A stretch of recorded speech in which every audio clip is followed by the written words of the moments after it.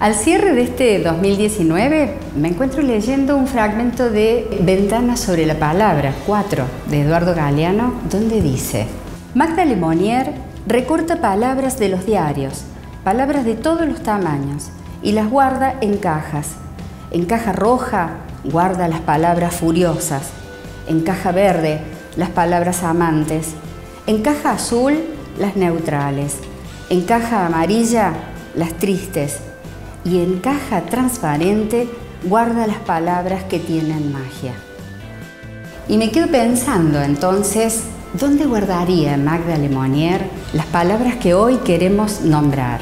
Ganas, deseo, esfuerzo, entusiasmo, voluntad.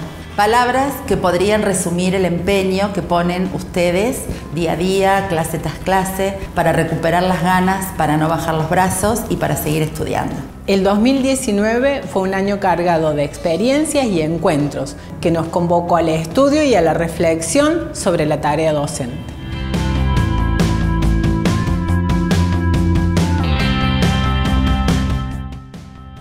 Fueron muchos meses en los que nos dimos un tiempo de estudio ese tiempo en el que nos animamos a enfrentar el mundo y abordar lo desconocido con una mirada curiosa y abierta.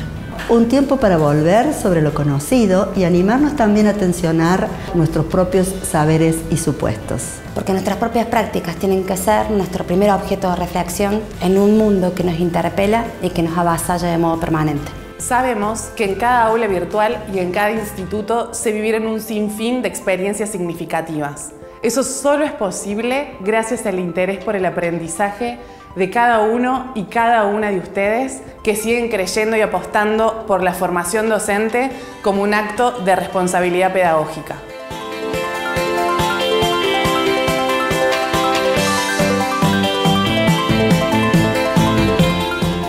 Por eso queremos reconocer y poner en valor el tiempo de cada uno de ustedes dedicado al estudio, en donde las reflexiones y discusiones compartidas estuvieron focalizadas en fortalecer la gestión y el gobierno de las escuelas de todos los niveles y modalidades.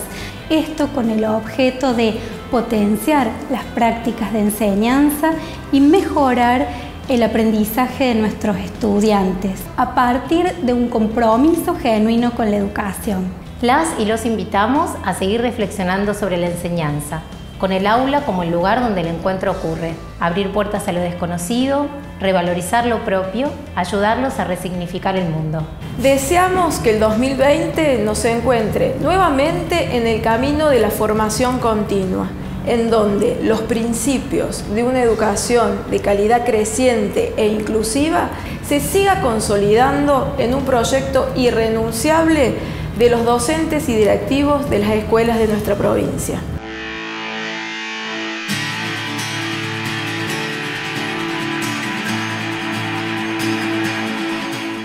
Y queremos hacerlo entre colegas, como hasta ahora, compartiendo y disfrutando un tiempo de estudio. Llega diciembre y para nosotros es también el fin de una etapa. En estos cuatro años, el ISEP ha logrado insertarse en la comunidad educativa de la provincia. Solo tengo palabras de reconocimiento y gratitud para con todos los integrantes de los equipos del ISEP, que en estos cuatro años han asumido su trabajo, pero le han puesto también sus deseos, sus ganas y sus convicciones. Solo así el ISEP pudo crecer como creció.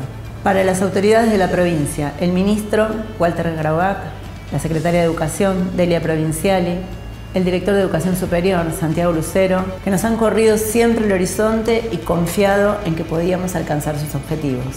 Y para todos ustedes que han confiado en nosotros y han hecho de este lugar lo que tiene que ser, un lugar de estudio. Por eso, gracias. Buen fin de año, mejor comienzo. Felicidades.